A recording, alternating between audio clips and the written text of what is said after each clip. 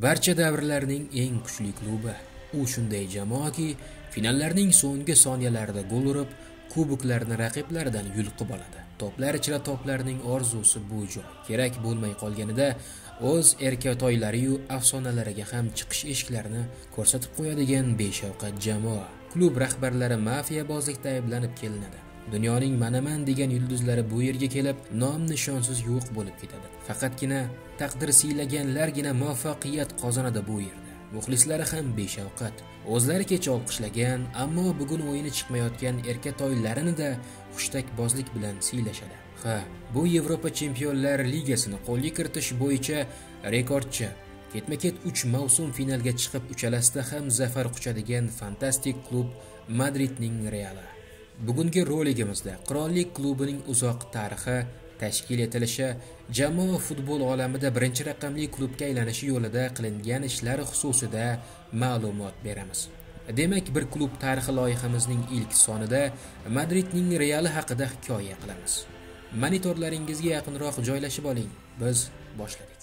1902 yilning 6 martida Julian Palacios va koka padroslar ispaniyada yangi madrid futbol klub nomli jamoa tashkil qilishadi. Fifa tomonidan 20 asrning eng yaxshi klubi deya e'tirof etilgan realga 1920 yilda ispaniya qiroli alfons 13 qirollik klubi maqomini beradi. Shundan buyon ispaniya grandining nomi real madrid deya ataladigan bo'ldi. Real chempionlik uchun tashkil qilingan jamoaga o'xshaydi. Qirollik klubi sovrinlarni juda yaxshi ko'radi. Tashkil qilinganiga bir yil ham bo'lmagan klub 1903 yilda ispaniya kubogi finaliga chiqadi. O'sha paytlarda milliy chempionat tashkil qilinmagan va kubok o'yinlari mintaqada eng zo'ri kimligini aniqlab bera oladigan yagona turnir edi. Atletik bilbaodan liderlikni tortib olgan real ketma ket 1905 906 907 va 908 yillarda ispaniya kubogini qo'lga kiritadi. Ispaniya chempionati hozirgi la liga 1928 yildan boshlab o'tkaziladigan bo'ldi. Milliy chempionatda hozirgacha 35 marotaba g'oliblikni tantana qilgan madrid grandi ilk chempionlikni 1931-32 yilgi mavsumda qo'lga kiritadi. Ha aytgancha real la ligada g'olib bo'lish bo'yicha ham rekordchi hisoblanadi. Qirollik klubida oldin aytib o'tganimizdek 35 ta chempionlik bo'lsa ikkinchi o'rindagi barselona 26 marotaba la ligada g'olib bo'lgan. Ilk oltin davr. 1950-1970 yillar oralig'i real tarixidagi ilk oltin davr bo'ldi. Qaymoq ranglilar 20 yil ichida nafaqat ispaniyada balki yevropa futbolida ham gegemonlikni qo'lga oldi.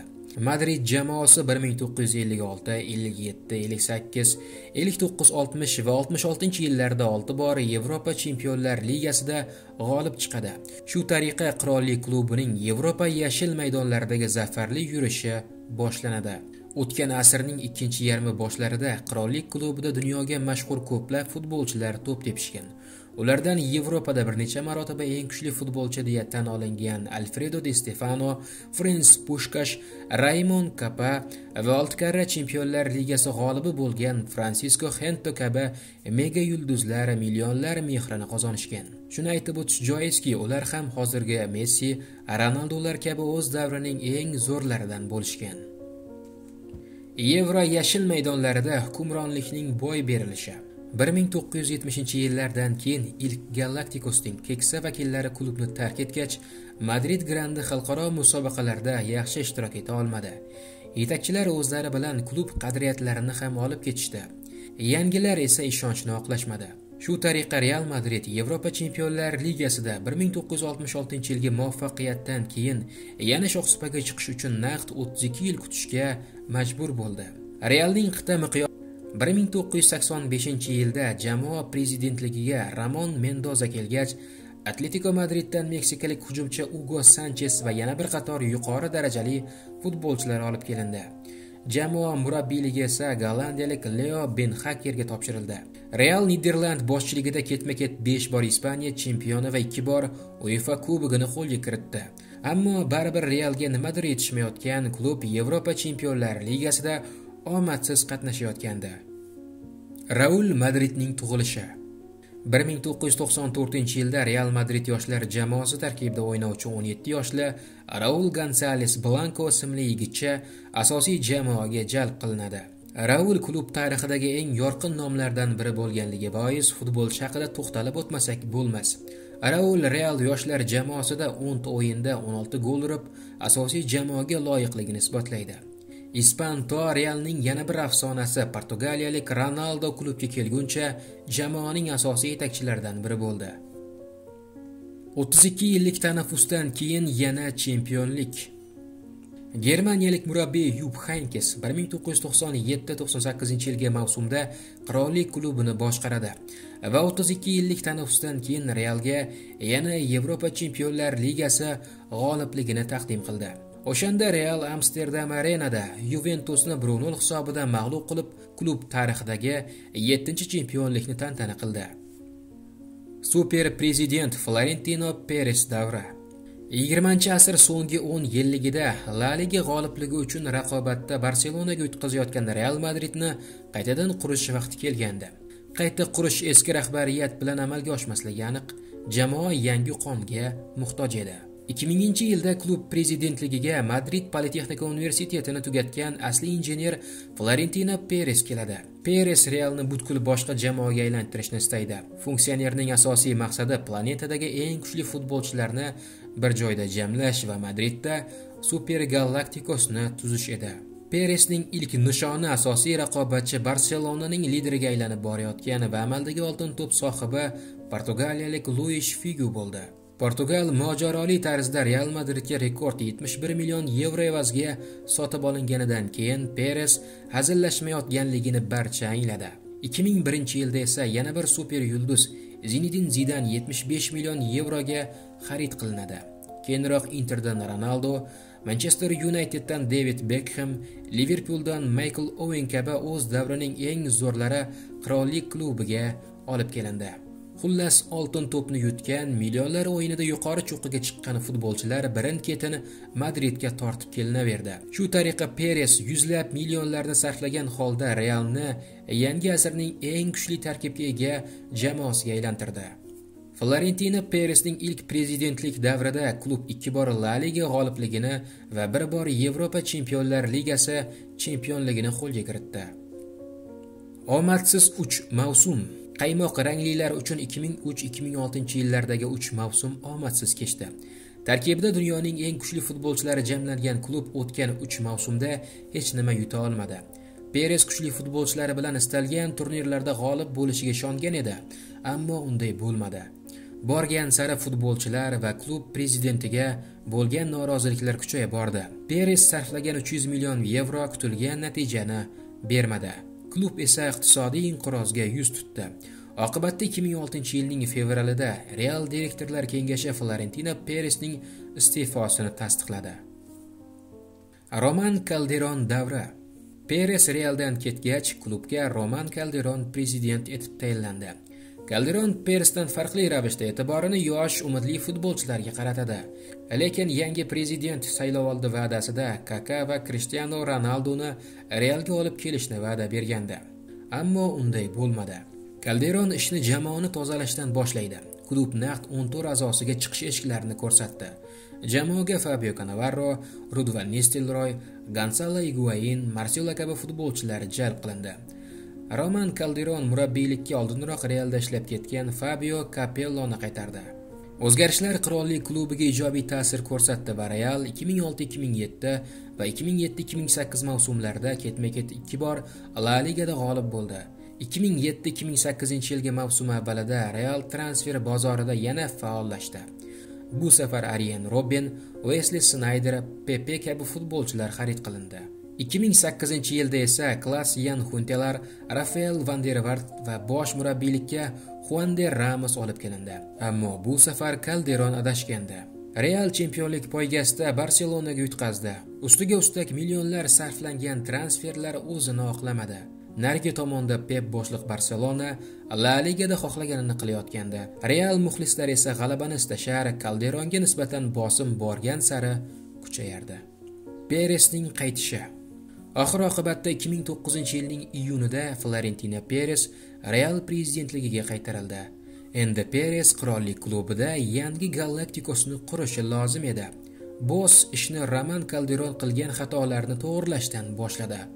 Robben snayder huntelar kabi futbolchilarga chiqish eshiklari ko'rsatildi. Kalderon va'da bergan ammo bajarmagan krishtianu ronaldu va rikardo kaka transferlari amalga oshirildi. Real ronaldu transferi uchun rekord 94 million yevro sarfladi. Peres hujum uchligini butunlay yangiladi. Ronaldu kaka bilan birgalikda leondan karim benzema ham qaymoq ranglilar tarkibiga jalb etildi. Shuningdek raul albiol xavi alonso esteban granero va alvaro arbelovalar transferi ham amalga oshirildi. Keyingi yilda esa yosh anhel di mariya mesut o'zil va sami hidirlar tarkibga qo'shib olindi. 2009-2010 yilgi mavsumda sovrinlarsiz qolgan jamoa bosh murabbiy manuel pellegrinini ishdan bo'shatdi. Peres esa o'z uslubidan chekinmagan holatda porto bilan oltin treblni qayd etgan joze maurinyoni bosh murabbiylikka olib keldi. O'zgarishlar ijobiy ta'sir ko'rsatdi. Mourning reali ilk mavsumda la ligani yuqori kayfiyatda o'tkazdi. Ammo quturgan barselonaga chempionlik poygasida imkoniyat boy berildi. Qirollik klubi 2010-2011 yilgi mavsumda sovrinsiz qolishi ham mumkin edi. Ammo real ispaniya kubogi finalida barselonani qo'shib berilgan daqiqalarda ronaldo urgan gol evaziga mag'lub etib titulni qo'lga kiritdi. El klasiko o'zining yuqori nuqtasiga chiqqan davrlar real 2011-12 yilgi mavsumda la ligada fenomenal o'yin ko'rsatdi. 32 g'alaba 100 ochko va 121 urilgan gol chempionlik poygasida barselonadan o'zib ketishni ta'minladi. Joze maurinyo realda o'z o'yinini qura oldi. Klassikolarda ketma ket barselona mag'lub etildi.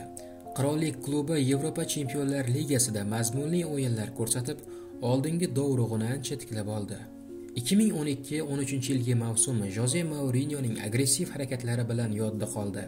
Maurinyo klassikolarni haqiqiy jangga aylantirib yubordi. Murabbiyning futbolchilarga bo'lgan agressiv munosabatini ayrim yetakchilarga ma'qul kelmadi. Klassikolarning birida iker kasiles barselona yetakchilari bilan do'stona harakatlar qilishga kelishib oldi. Bu esa agressiyani xush ko'ruvchi maurinyoga yoqmaydi. Oqibatda kasiles zaxira o'rindig'iga mixlanadi. Real kiyinish xonasi ikki guruhga bo'lingan bir tomon murabbiyni ma'qullasa ikkinchi tomon jozening klubdan ketishini istardi. Ichki muhit yomonlashgani bois o'yin sifati ham pasayib real chempionlik uchun kurashda barselonaga mag'lub bo'ldi. Vaziyat yomonlashganini ko'rgan joze 2013 yilda realdan ketishga qaror qildi. Portugaliyalik real madrid tarixidagi eng yorqin murabbiylardan biri sifatida tarixga kirdi. Ayniqsa jozining zinidin zidanni real murabbiylar shtabiga jalb qilish to'g'risidagi qarori tahsinga sazovor 2013 yilning yozida real bosh murabbiyni almashtiradi